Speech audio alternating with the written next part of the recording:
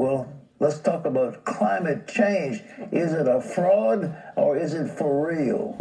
Yeah, let's talk about climate change. You know, you got global warming. Well, here it is, July. This no, I'm just teasing. It's not July.